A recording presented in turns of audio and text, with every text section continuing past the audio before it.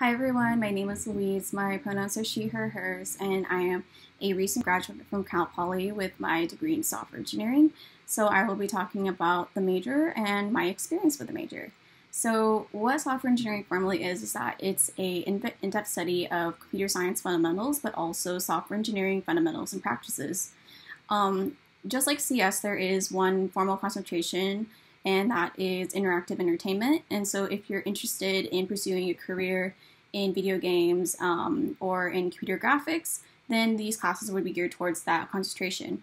Other than that, there are no no formal concentrations within computer science or software engineering, but there is a wide variety of electives that you can choose from, such as security, UI UX design, artificial intelligence, and databases.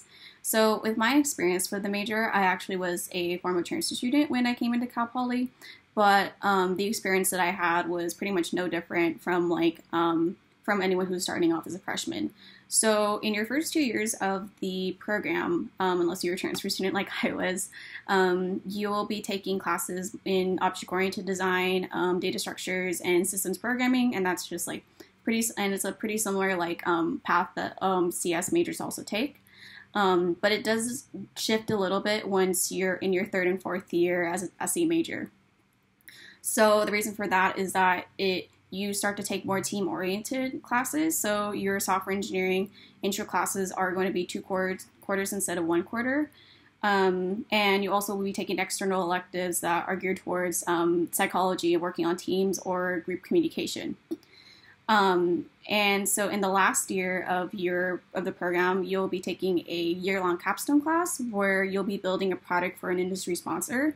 Um, for me, I had an industry sponsor that was um, from a local startup, so um, we were able to interact with them bi-weekly and be able to like meet with them and talk to them about their um, vision about the product and just go through like the whole entire software development lifecycle with them.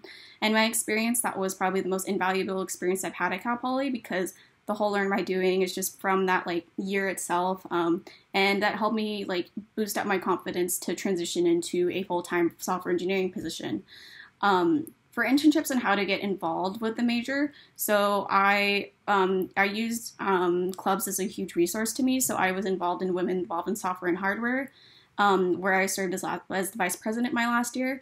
One really good resource that I used was going to the Grace Hopper conference, and that's where I got to network with num- a, large number of women and also get internships from there from their like career fair. And you could still get those internship opportunities at like um, cal poly's career fair and also the computing career fair that happens every fall quarter. Um, there's also a ton of other um, clubs around the um, both majors and that's like um, white hat um, color coded and mobile app development. And cal poly also hosts two hackathons which are both really great opportunities for you to build and pitch a, part, a product um, and be able to build out in a short period of time. So two of the main ones are um, Camp, Camp Poly Hacks and SLO Hacks.